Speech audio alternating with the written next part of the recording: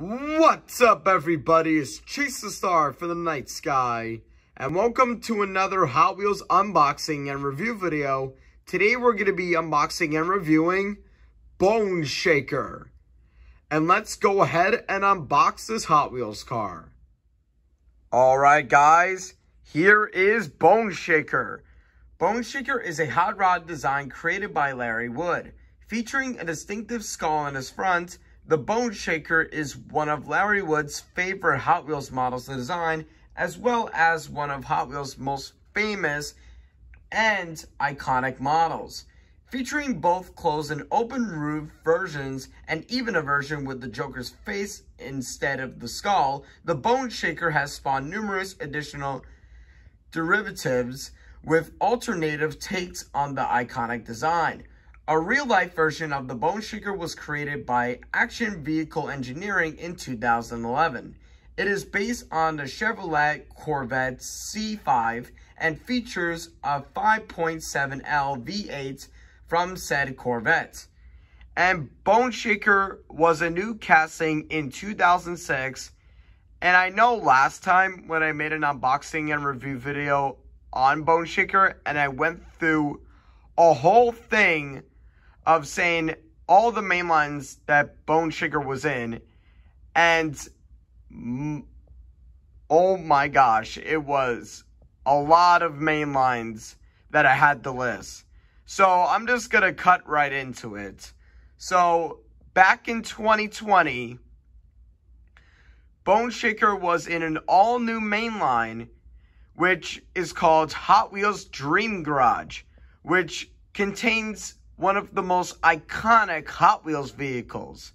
And fast forward two years later in 2022, Bone Shaker returns in Hot Wheels Dream Garage. And honestly, Bone Shaker is a really awesome Hot Wheels car. I'm not I'm not a crazy Bone Shaker fan, but it is one of the most iconic Hot Wheels cars.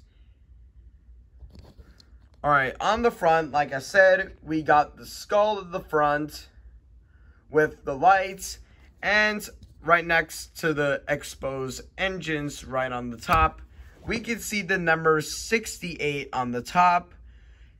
And the number 68 indicates the year Hot Wheels was made, which is 1968. And we also got some gray and red stripes on the body. And on the car doors, we have the skull with goggles on the top and with wings and the word bone shaker. And once again, we have the number 68. And on the wheels, we have those red lines on it, and which looks really good. And also, we also have the two seats right here, and it looks really amazing. And back in the day, Bone Shaker used to be used to have a top which indicates on the top of Bone Shaker. But nowadays, Bone Shaker is now a convertible. Well, it's what I like to call it. But overall, Bone Shaker is one of the most iconic Hot Wheels cars of all time. And